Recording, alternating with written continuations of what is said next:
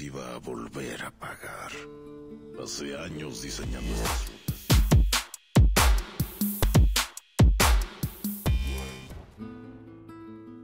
Mi red de contrabando desmantelada. La cocaína dejó de entrar. El dinero dejó de salir. La droga restante se pudría envuelta en celofán al mismo tiempo que perdía su valor.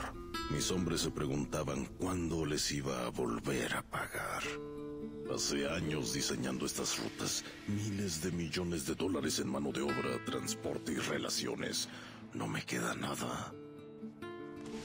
Ni mi reina de belleza. A Nidia Flores nunca le faltó nada. Y me lo pagó huyendo como una cobarde. En vez de morir como la realeza. Y ahora escogió pasar el resto de su vida sirviendo a los pinches gringos. Mató al padre de su hijo por nada. ¿No es sorprendente? Acabas con algunos narcos y la máquina se cae a pedazos.